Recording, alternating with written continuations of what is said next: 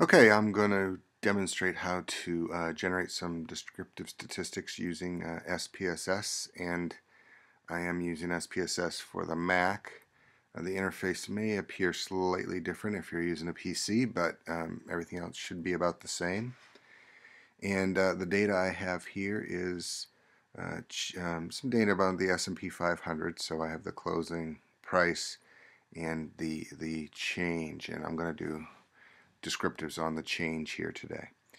So um, there's three ways, three general ways anyway, to get um, descriptive statistics out of SPSS and they all do something uh, slightly different and uh, some are more comprehensive than others. I am going to start with the most basic thing you think you would start with when you're when you're trying to get descriptive statistics. Um, just select descriptives okay and um, here um, uh, the change is already over there but I'll just show you how to get it over there in case you don't know. Um, you can select the variable that you want to get descriptors for and then either double click on it or, or send it over with this arrow. Okay and then to select what statistics you want to have show up uh, you're going to come into the options dialog box. Alright and just run through and check off uh, the things that you want to uh, uh, have displayed. Click continue and then OK and the the engine will, will generate the statistics pretty quickly. And uh, you can see um, it generates a, a, uh, a horizontal table. It gives you everything that we asked for. Okay and I guess the, the general takeaway here is that uh, it looks like we're, we're seeing something that is uh, fairly close to normal, normally distributed, okay, and um, I can tell that by the skewness. The skewness is very low. Uh, kurtosis is, is somewhat high, uh, probably indicates a big uh, spike or a, a very peaked uh, middle on this on this distribution. Okay, I'm going to go back to the uh, Analyze tab, all right, and uh, I'm going to show you the second method. I'm going to go in and uh, select frequencies. All right, and with uh, frequencies, I'm going to do the same thing. I'm going to select the change and send that over. All right, you can see that we have uh, a couple of other options here. All right, I'm going to go into statistics, and uh, interestingly, it appears that I have more options here for descriptives.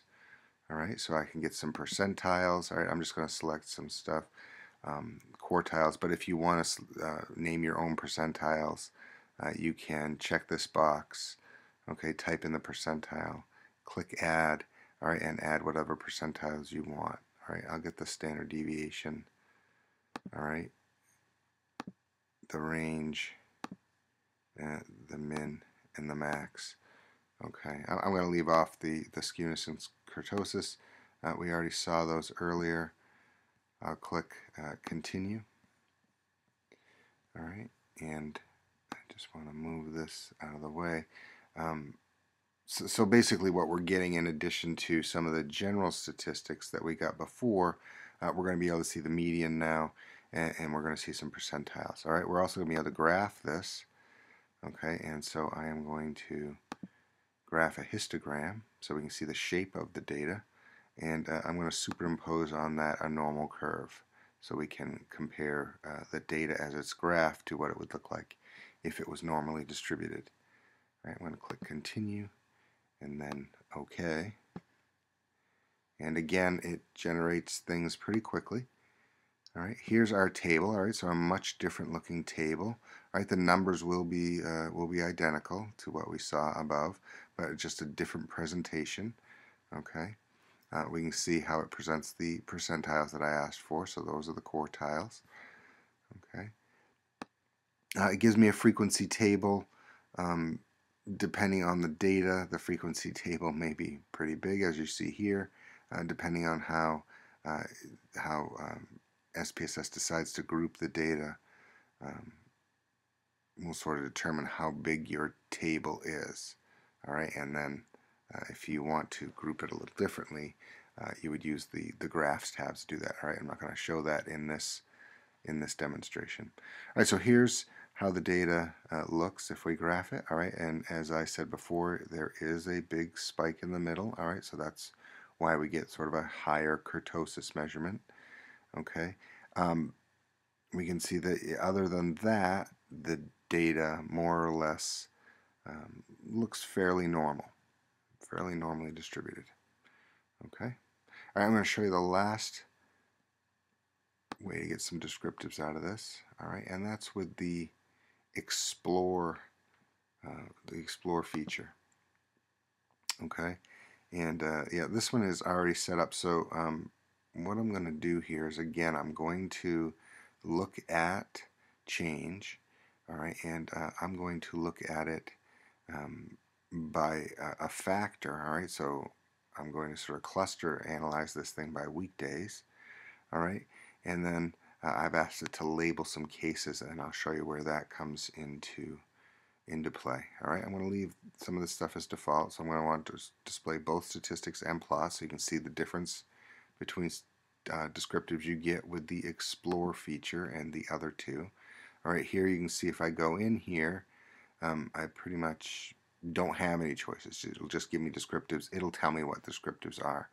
Alright, uh, if you want you can add outliers and uh, you can add percentile so you can see uh, extreme values and then and then percentile cutoff points. All right, under plots, I am going to. We've already seen a histogram, so you you know just know that you can get a histogram from from the Explore um, feature. Uh, I'm also going to deselect the uh, the stem and leaf. All right. Um, it's a pretty old method of displaying data. Uh, it's not really easy to to um, interpret with with the kind of data I have. So being uh, small percentage changes, it's it's really kind of difficult to look at a stem and leaf. All right, and so if you um, have someone who wants you to put a stem and leaf out there, I'm sure they will uh, have discussed it with you uh, beforehand. All right, I think we can go through life just fine though without stem and leaves. All right, we're going to add this new thing in though, a box plot. All right, which is pretty cool in itself. All right, so um, other than that, I am going to click continue and then I'm going to click OK to let the engine calculate things. Okay, and so uh, first thing we see is, okay, it separated them into five uh, subgroups. All right, so five samples. All right, and you can see uh, the number of observations in each sample. Okay, so fewer Mondays, sort of reflecting the holidays in, in a year. All right, and then uh, we get a descriptive, uh, a table of descriptives slightly below.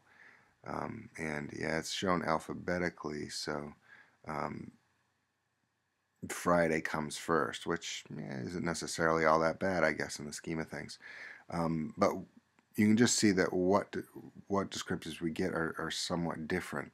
Okay, um, and we and we didn't get to choose them. All right, so we get a confidence interval of the mean. That's nice. Okay, uh, we also get this five percent trimmed mean where they trim off uh, the highest five percent of values.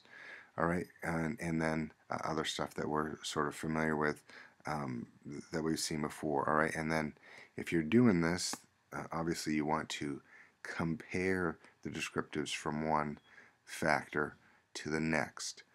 Okay. Okay, I'm not going to do that here, but if you want to, you can go back and do that with your own data. And here's the thing that I really wanted to get at, that's why I'm going through the other stuff quickly, uh, is the, the box plot, or the box and whiskers plot as it's sometimes called. All right, here's where we can get a lot of visual data all right, or a visual interpretation of of the of the um, the five subsamples.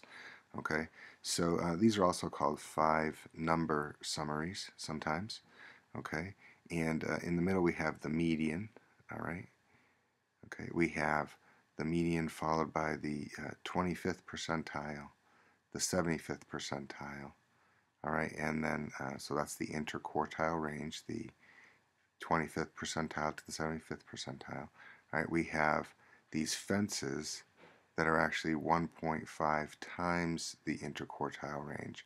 Right, so we extend above and below 1.5 times. Okay, and then where I asked it to um, to give me the the case listings for these outliers. All right, uh, this is where that date is showing up. All right, so this was one of the options that I checked going in. All right.